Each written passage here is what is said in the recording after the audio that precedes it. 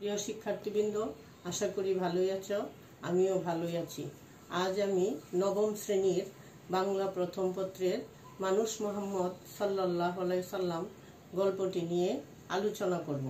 আমরা প্রথমেই গল্পটি লেখক নিয়ে আলোচনা করব। লিখেছেন মানুষ মোহাম্মদ, গল্পটি লিখেছেন মোহাম্মদ ওয়াজেদ আলী। আমরা ওয়াজেদ আলী সম্পর্কে জানব। ওয়াজেদ আলী মোহাম্মদ ওয়াজেদ আলী আঠারোশো ছিয়ানব্বই সালে উনতিরিশে ভাদ্র তেরোশো তিন সালে সাতক্ষীরা জেলায় জন্মগ্রহণ করেন। তিনি কলকাতা বঙ্গবাসী কলেজে বিএ ক্লাসের ছাত্র থাকাকালীন তিনি অসহযোগ আন্দোলনে যোগদান করেন এবং এখানেই তার লেখাপড়ার সমাপ্তি ঘটে। তার, এরপর তিনি সাংবাদিকতা সাংবাদিকতাকে পেশা হিসেবে গ্রহণ করেন। এই সুবাদে তিনি অনেকগুলো পত্রিকা, কর্মরত ছিলেন। পত্রিকাগুলি হলো মাসিক মোহাম্মদী, দৈনিক মোহাম্মদী, দৈনিক সেবক, সাপ্তাহিক সৌগাত, সাপ্তাহিক খাদেম, ইংরেজি দি মুসলমান ইত্যাদি পত্রিকায় তিনি কর্মরত ছিলেন। তিনি অনেকগুলো গ্রন্থ লিখেছেন। তার মধ্যে মহামানুষ মহসিন মরু ভাস্কর সৈয়দ আহমদ, ছোটদের হরজত মোহাম্মদ ইত্যাদি। তার রচনায় গদ্য শৈলী, রজু, রচনা স্বাভাবিক স্বাস্থ্যগত কারণে তিনি উনিশশো পঁয়ত্রিশ সালে কলকাতা ছেড়ে বারদেহে ফিরে আসেন এবং সেখানেই উনিশশো চুয়ান্ন সালের আটই নভেম্বর মৃত্যুবরণ করেন। তাইলে আমরা লেখক সম্পর্কে জানলাম, লেখক কত সালে জন্মগ্রহণ করেন? আঠারোশো ছিয়ানব্বই। ইংরেজি আর বাংলা উনত্রিশে ভাদ্র তেরোশো তিন। তার পেশা কি ছিল? সাংবাদিকতা। তার রচিত অনেকগুলি সাংবাদিক অনেকগুলো পত্রিকা। তার মধ্যেও আমরা পড়েছি মাসিক মোহাম্মদী, দৈনিক মোহাম্মদী, দৈনিক সেবক। আর তার উল্লেখযোগ্য অনেকগুলো গ্রন্থ তিনি লিখেছেন। তার মধ্যে মহামানুষ, মহসিন মরু ভাস্কর সৈয়দ আহমদ। তার এই গল্পটি মরু ভাস্কর গল্প থেকেই নেওয়া হয়েছে। তিনি মৃত্যুবরণ করেন উনিশশো চুয়ান্ন সালের আটই নভেম্বর। আমরা এই গল্পটি পড়ে শিখতে পারব হরজত মোহাম্মদ সাল্লাহ সম্পর্কে জানতে পারব, মান তার মানবীয় গুণাবলী সম্পর্কে জানতে পারব এবং তার এই আদর্শে অনুপ্রাণিত হয়ে মহৎ হতে পারব। এখন কিছু শব্দার্থ। আধার শব্দের অর্থ অন্ধকার। বীরবাহু অর্থ শক্তিদায়ী, স্থিতদি, স্থির বুদ্ধি সম্পন্ন। ধি শব্দের অর্থ বুদ্ধি গ্রীভা অর্থ ঘাট অন্তরিক্ষে অর্থ আড়ালি। এখন দেখো, সবাই বই নেও হাতে, আমরা গল্পটা পড়ব। গল্পটা অনেক বড় এই জন্যে আমরা সম্পূর্ণ গল্প একদিনে তো শেষ করা যাবে না। আমরা প্রথম পৃষ্ঠা যতটুক আছে, সেটুক নিয়ে আলোচনা করব।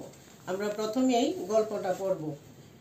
হজরতের মৃত্যুর কথা প্রচারিত হলে মদিনায় যেন আধার গণাইয়া আসিল। কাহারও মুখে আর কথা সরে না। কেহ বা পাগলের মতো কাণ্ড শুরু করে। রাসুলুল্লাহ পীড়ার খবর শুনিবার জন্য বহু লোক জমায়েত হইয়াছে। কে একজন বলিলেন, তাহার মৃত্যু হইয়াছে। বীরবাহু উমর উলঙ্গ তরবারি হাতে লইয়া লাফাইয়া উঠিলেন। যে বলিবে হরজত মরিয়াছেন, তাহার মাথা যাইবে। মহামতি আকবর শেষ পর্যন্ত হজরতের মৃত্যু শয্যার পাশেই ছিলেন। তিনি গভীর, গম্ভীরভাবে জনতার মধ্যে দাঁড়াইলেন। বলিলেন, যাহারা হরজতের পূজা করিত, তাহারা জানুক তিনি মারা গিয়াছেন। আর যাহারা আল্লাহর উপাসক, তাহাদের জানা উচিত, আল্লাহ অমর অবিনশ্বর। আল্লাহর সুস্পষ্ট বাণী, মোহাম্মদ সাল্লাহ সাল্লাম একজন রাসূল বই আর কিছুই নন তাহার পূর্বে আরও অনেক রাসূল মারা গিয়াছেন। রসুল্লাহ সাল্লা সাল্লাম মরিতে পারেন, নিহত হইতে পারেন। তাই বলিয়া তিনি যে সত্য তোমাদের মধ্যে দিয়া গেলেন তাহাকে কি তোমরা মাথা পাতিয়া গ্রহণ করিবে না? এই বিশ্বভুবনে, এই দূর অন্তরিককে যাহা কিছু দেখিতে পাও, সবই আল্লাহর সৃষ্টি। তাহারই দিকে সকলের মহাযাত্রা। হজরত আবু বক্করের গম্ভীর উক্তিতে সকলেরই চৈতন্য হইল। হজরতের মোমরের শিথিল অঙ্গ মাটিতে লুটাইল, তাহার স্মরণ হইল হরজতের বাণী, আমি তোমাদেরই মতো একজন মানুষ মাত্র। তাহার মনে পড়িল, কোরআনের আয়াত, মোহাম্মদ মৃত্যু তোমারও ভাগ্য, তাহাদেরও ভাগ্য। তাহার অন্তরে ধনিয়া উঠিল, মুসলিমের গভীর প্রত্যয়ে স্বীকারোক্তি অমর সাক্ষ্য, মোহাম্মদ সাল্লাহ সাল্লাম আল্লাহর দাস, মানুষ ও রাসুল। সুখের প্রথম প্রচণ্ড আঘাতে আত্মবিস্মৃতির পূর্ণ সম্ভাবনার মধ্যে দাঁড়াইয়া স্থিতদি হরজত আবু বক্কর রাজিয়াল্লাহ রাসুলের প্রতি শ্রদ্ধা নিবেদনে সীমারেখা সৃষ্টি করিয়া তুলিলেন। তিনি রাসুল, কিন্তু তিনি মানুষ। আমাদেরই মতো দুঃখ, বেদনা, জীবন মৃত্যুর অধীন রক্ত মাংসে গঠিত মানুষ। একথাই বৃদ্ধ হরজত আবু বক্কর সিদ্দিক রাজে আল্লাহ মূর্ছিত মুসলিমকে বুঝাইয়া দিলেন। তিনি মানুষের মন আকর্ষণ করিয়াছিলেন, মুখ্যত তাহার মানবীয় গুণাবলী দ্বারা। মক্কার শ্রেষ্ঠ বংশে তিনি জন্মিয়াছিলেন, কিন্তু বংশ গৌরব হরজতের সচেতন চিত্তে মুহূর্তের জন্য স্থান লাভ করে নাই। জন্মদুঃখী হইয়া তিনি সংসারে আসিয়াছিলেন। এই দুঃখের বেদনা তাহার দেহ সৌন্দর্য চরিত্র মাধুরীর সহিত মিলিয়া তাহাকে নরনারীর একান্ত প্রিয় করিয়া তুলিয়াছিল। আবাল্য তিনি ছিলেন আলামিন বিশ্বস্ত, প্রিয়ভাষী, সত্যবাদী। তাহার অসাধারণ যোগ্যতা, বুদ্ধি বিচার শক্তি বলিষ্ঠ দেহ দেখিয়া মানুষ অবাক হইয়া যাইত। এই সকল গুণ বিবি খাদিজাকে আকর্ষণ করিয়াছিল। তাইলে আমরা এই পর্যন্ত পড়লাম। এখানে অনেকগুলো নৈবৃত্তিক আছে এবং আমরা বিশ্লেষণ করতে পারব এই গল্পটাতে এখানে কি বোঝানো হয়েছে?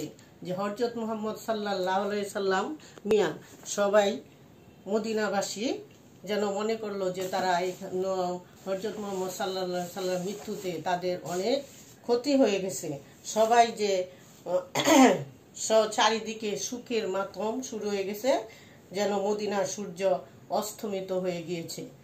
বলতেছে কি যে, আধার গণায় আসিল। মদিনায় মনে হইতেছে যে অস্ত, সূর্য অস্ত নির্মিত হয়ে গেছে এবং কাহারো মুখে হরজত মোহাম্মদ সাল্লাহ সাল্লামের মৃত্যুতে তারা সবাই এমন অচৈতন্য হয়ে পড়ল যে তাদের মনে অনেক বলতেছে যে তাহার মৃত্যু হইয়াছে, এটা তারা কিছুতেই মেনে নিতে পারছিল না। হরজত মোহাম্মদ সাল মারা গেলে অনেকে মৃত্যু সংবাদ সহজে মেনে নিতে পারল না এবং পাগলের মতো আচরণ করতে থাকল। তাহার মৃত্যু উমর, যে একজন বলা হরজত মোহাম্মদ সাল্লাহ সাল্লাম মৃত্যু হয়েছে এই খবর বলায় হরজত উমর বেশি বেশি শুকালেন এবং তিনি বললেন যে এই কথা বলবে, তাকে কি করবে? তার তরবারি দিয়ে তাকে আঘাত করবে। তাহাদের তখন হরজত আবু বকর বললেন যে, তিনি একজন কি? মানুষ।